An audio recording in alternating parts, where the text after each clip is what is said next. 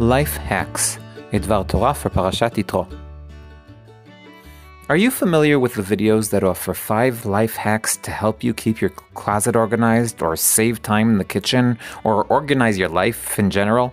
Israelis are great with this kind of thinking, like the story about how the IDF saves water by putting an empty bottle into the toilet tank, stopping it from filling up every time the water is flushed. What do these videos have to do with this week's Parsha?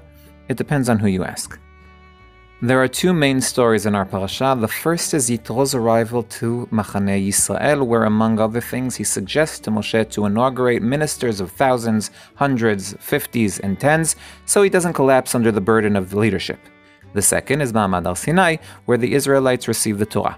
Or maybe not. That is, there's no question that both stories take place in our parasha. What's not clear is which story comes first and which comes second. The Tanaim Rabbi Yoshua and Rabbi Elazar Modai disagree regarding the order. Rabbi Yoshua claims that Yitro heard about the Amalek war that preceded the story, and then he came to Har Sinai, and Rabbi Elazar Modai claims that he heard about Matan Torah, even though the story appears later on in the verses.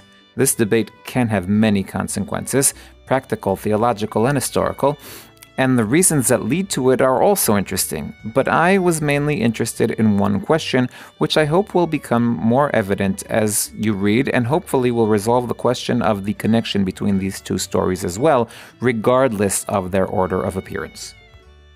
For those who read the Torah for the first time and have no background, it's not clear why the Israelites received the Torah in the first place. Let me explain.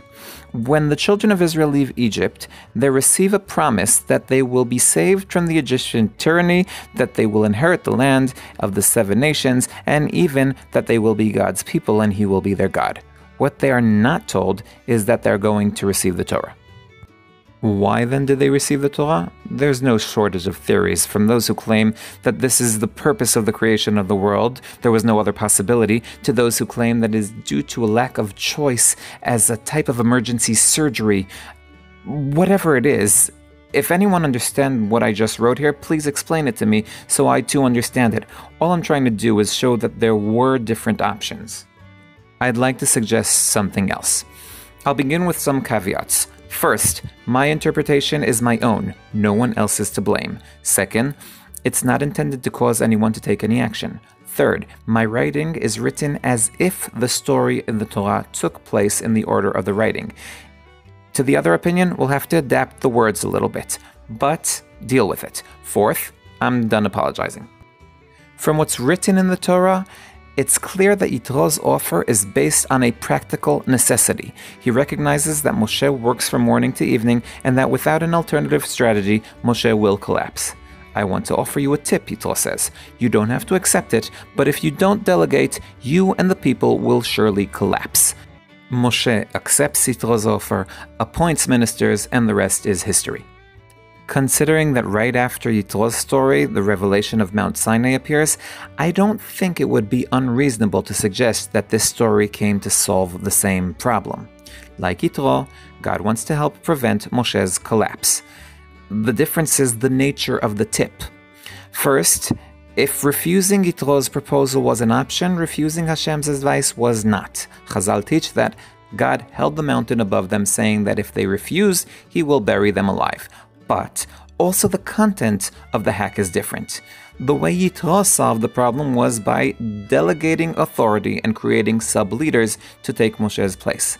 God gives the Torah to the Israelites, giving it to each individual as his own responsibility. I can't prove what I'm saying 100% from reading the verses. The people are restricted from going up the mountain. The people should be warned against, against touching the mountain. There is a hierarchy between Moshe, Aharon, the priests, and the people. On the other hand, when Moshe says that the people will not be able to go up, God tells him, okay, you go down, then come up.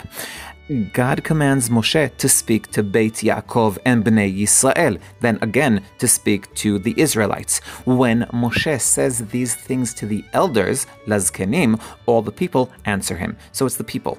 The people are sanctified. The people should be ready for the third day. Compared to the passivity of the people in Yitro's story, preceding Matan Torah, they're extremely active and responsible. Am I trying to claim that Yitro's advice or Ma'amad Har Sinai could have been replaced by a clickbait video? Of course not. That statement in itself is clickbait.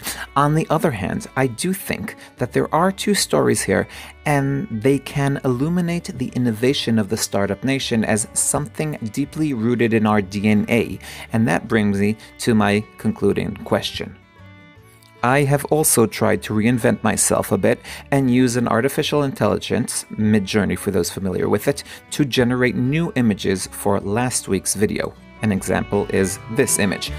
What do you think? Should I stay conservative with the usual images or renew? I'm looking forward to your response. I am Dovi Holtz, one who loves Tanakh.